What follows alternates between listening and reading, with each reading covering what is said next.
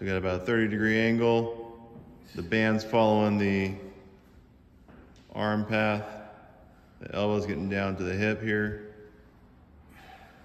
Shoulder blade draws together. Squeeze the elbow down. Really open up. In these unilateral motions, you can use the opposite hand to feel stuff activating and make sure other stuff that shouldn't be moving isn't moving. It's good synergy. All right. Unilateral work, boom.